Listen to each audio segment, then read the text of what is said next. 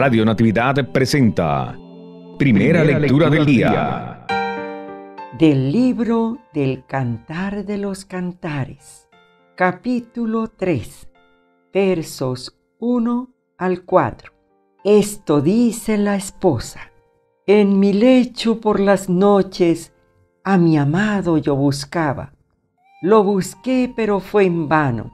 Me levantaré por las plazas y barrios de la ciudad buscaré al amor de mi alma. Lo busqué, pero fue en vano. Y me encontraron los guardias de la ciudad y les dije, que no vieron aquel que ama mi alma.